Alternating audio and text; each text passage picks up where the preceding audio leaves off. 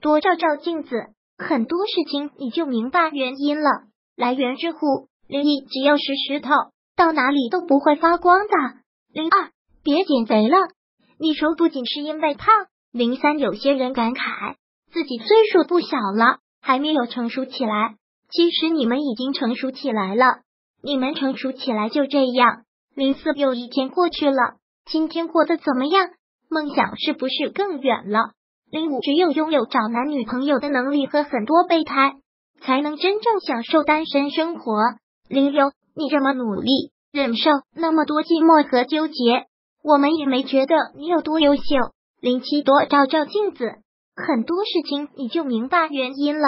零八，如果你每天干的活明显多于别人，但自己很高兴，还感觉得到器重，那么与其说你很有才干，不如说你的领导很会管人。零九，努力了这么久，但凡有点天赋，也该有些成功迹象了。身好的容貌和很多钱，是进入上流社交活动的通行证。十一，哪怕抛掉出身的因素，我觉得你也未必干得过别人。十二，有些女生觉得说自己是吃货能显得可爱，其实并没有这样的效果。十三，这个世界没有错，是让你长得不好看又没钱。十四，真正努力过的人就会明白天赋的重要。十五，一些年轻人通过高端消费来营造自己高端收入的形象。十六，你承受的苦难并不比他人多太多，痛苦主要来自敏感和脆弱。十七，我在社会中混的不好，我好恨社会，但我离不开他。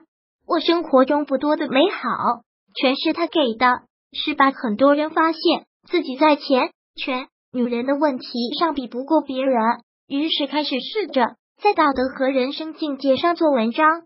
十九，你若没有可爱之处，便不会有人来爱你。二十，我要是有钱或者长得好看就好了，那样。即使我性格有点怪，也会有人愿意倾听我的想法和感受，跟我做朋友。二十那些人人羡慕的精英，其实过得并不如你想象的那样好，但肯定比你是强得多。二十二很多时候，别人对你好，并不是因为别人喜欢你，而是因为他们喜欢对人好。二十三懒是一个很好的托词，说的好像勤快了，就真能干出什么大事一样。二十四，当别人和你说忙，是他他要留时间给更重要的人。二十五，我们在困难时候最能依靠的人，也是得意时最容易忽视的人，比如备胎、父母、好心但是不优秀的朋友。二十六，总有这样的人，该干活的时候职业不起来，玩的时候又放不开。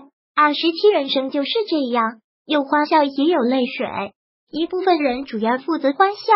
另一部分人主要负责泪水。二十八等生活中真有了生老病死这样的大事，才知道自己以前的忧伤都是狗屁。二十九有很多人对狗很好，对人却很差。三十友情越来越少，礼尚往来越来越多。三十一回首青春，我发现自己失去了很多宝贵的东西，但我并不难过，因为我知道以后会失去的更多。三十二最靠得住的是金钱，最靠不住的是人心。三十三对今天解决不了的事情也不必着急，因为明天还是解决不了。三十四不去努力，然后告诉自己我根本就不想要的痛苦，比拼命努力后失败的痛苦要小得多。三十五你努力后的成功不能弥补你成功前的痛苦，更何况你还没成功。三十六，假如今天生活欺骗了你，不要悲伤，不要哭泣，因为明天生活还会继续欺骗你。三十七，要是有个地方能出卖自己的灵魂换取物质享受就好了。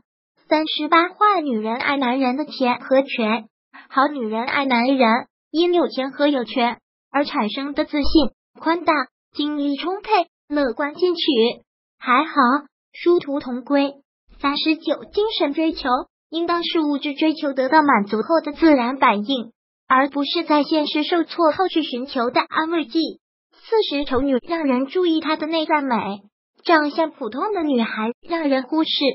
四十一，有些人努力了一辈子，就是从社会的四流挤入了三流。四十二，什么样的人造就了什么样的国家？